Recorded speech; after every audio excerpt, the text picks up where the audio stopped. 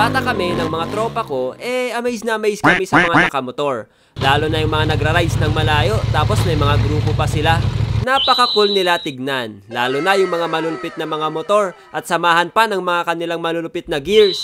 Balang araw men, magkakaroon din tayo ng motor. Tama ka dyan, men. Mapupuntahan natin yung mga lugar na gusto nating puntahan. Hanggang pangarap lang muna kami dati. Siyempre, pag bata ka pa, wala ka pang trabaho, estudyante ka pa lang, eh hindi mo talaga ma-afford yung mga yan. Pera na lang kung tatay mo si Manny Pacquiao. Nagkaroon sila pinya ng motor dati. Eh, syempre, gaya na naman ng bisikleta, eh masayang masaya kami. Sakto kasi, eh hindi ako marunong gumamit ng motor. At yung motor nila pinya, yung pinagpraktisan namin. Salitan lang kami sa paggamit at hindi kami pwede lumayo dahil wala pa kaming mga lisensya. Ilang araw lang namin siya pinagpraktisan kasi motor yun ang papa ni Pinya kaya hindi namin siya laging pwedeng hiramin. So fast forward, nagkaroon kami ng sari-sarili naming trabaho at unti-unti nang nakakabili yung mga tropa ko ng kani-kanilang mga motor. Ako naman, eh medyo natagalan ako makabili ng motor kasi, bruh, ang hirap makahanap ng trabaho kapag animation. Buti na lang talaga, eh natanggap ako sa isang animation studio. Muntik pa ngang hindi ako matanggap doon kasi hindi pasado yung gawa ko. Naawa lang ata yung direktor sa akin doon eh. sir, kunin nyo na ako sir. Kailangan ko na ng trabaho sir. Hmm, okay naman yung gawa mo, pero may mga ayusin lang tayo para maging okay yung animation mo. Tapos, pwede ka na mag-start next week. Alright, thank you sir. So, nagkaroon ako ng mga project sa animation studio na yon. At nagumpisa na rin ako mag-ipon dahil may mga buwan na may projects at may mga buwan na wala din. Nung nakaipon na ako, eh nagpatulong ako kay Pinya para maghanap ng second hand na motor. Oo, second hand lang mga men dahil hindi ko afford ang brand new. So, naghanap-hanap kami sa Facebook ng mga nagbebenta ng second hand na motor. Men, hanapan mo ako, yung violet yung kulay. Eto men, may nakita ako. Hmm, wala boy. Hindi kasya sa budget ko. Hanap pa tayo. Medyo natagalan kami sa paghahanap dahil hindi pasok sa budget ko yung mga nakikita namin sa marketplace. Hanggang sa dalawang buwan na ata ang nakalipas, eh nakita na namin yung motor na pasok sa budget ko. Eto na men, pasok na pasok sa budget. Pero men, ang layo. Sa Manila pa daw sila. Kausapin natin, baka pwede meet up sa Pampanga para mas malapit. Kinausap namin yung seller kung pwedeng meet up na lang sa Pampanga. Buti na lang at pumayag sila. So nag-commute kami ni Pinya mula Baguio hanggang Pampanga. Gamitin sana namin yung motor niya pero wala pa kasi akong lisensya that time at hindi pa ako masyadong marunong magmotor.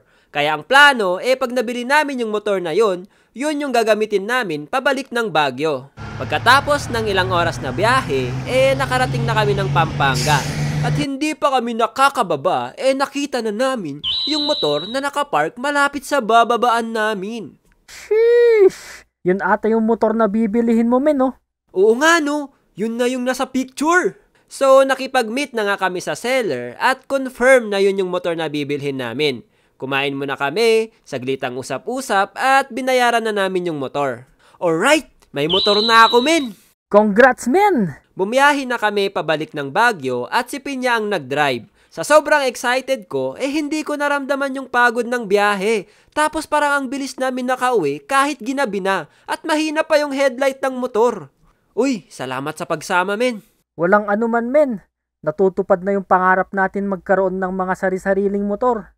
Kaya nga eh, makakapunta na tayo sa mga gusto nating puntahan. Pero bago ko magamit yung motor ko, eh kailangan may driving license ako. Kaya pumunta ako sa LTO para kumuha.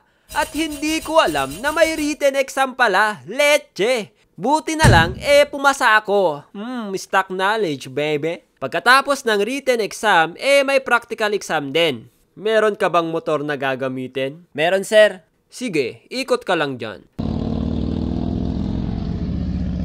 Okay na, pasado ka na. Balik ka ulit sa window 5 tapos ibigay mo to. Ay, yun na pala yun. So pagkatapos ng proseso at matagal na paghihintay, eh nakuha ko na ang aking lisensya. Nagagamit ko na ang aking pinakamamahal na motor. Tara my friend, maghanap tayo ng checkpoint. Dahil may motor at lisensya na ako, eh sinubukan na namin mag-rides ng mga tropa ko. Isang naalala kong experience, eh sumali kami sa isang training ng isang malaking community dito sa Pinas. Nagkakandak sila ng motorcycle skills training and road safety seminars. So, sumali kami nila Pinya kasama ang iba naming tropa. As a beginner, eh feel ko naman marami akong matututunan sa training na yon.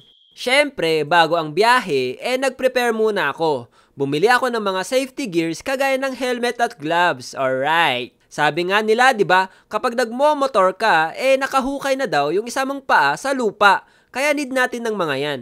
Sa Pangasinan, ginanap yung training na yon. So, bumiyahe kami ng dalawang oras mula Baguio hanggang Pangasinan. Pagdating namin doon, eh nagulat ako kasi sobrang daming motorcycle riders.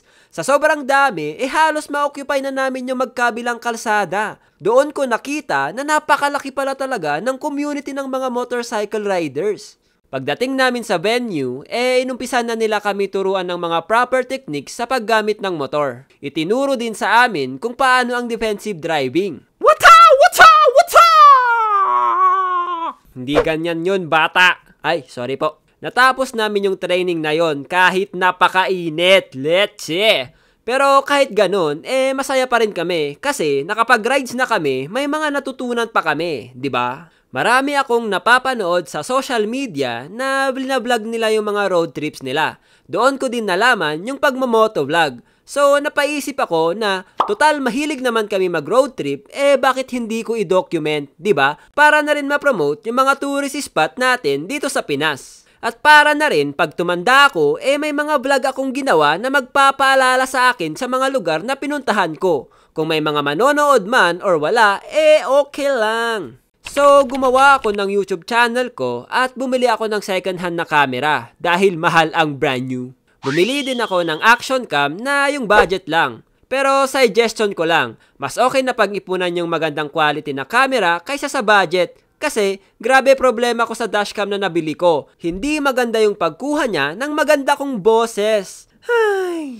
Nung nakumpleto ko na yung mga camera gears ko, eh inimbitahan ko si paring Ruru na mag-road trip kami at i-vlog namin. Pumayag naman siya at nagumpisa na kami mag-vlog-vlog kuno. So every time nagkakaroon kami ng bakanting oras, eh bumabiyahe kami ng mga tropa ko. Napakasaya guys, hindi ko alam kung makaka-relate kayo, pero iba yung saya ng pagmomotor kapag nagra-rides kayo. Although masaya pa rin naman sa sasakyan, pero iba sa pagmomotor. Kasi kitang-kita mo lahat ng tanawin na madadaanan nyo. Ramdam na ramdam mo yung lamig at sariwang hangin kapag nagro-road trip kayo sa mabundok na lugar. Napupuntahan mo yung mga lugar na hindi kayang puntahan ng sasakyan. Nakakapagod siya kumpara sa paggamit ng sasakyan dahil kalaban mo dyan ang init at ulan.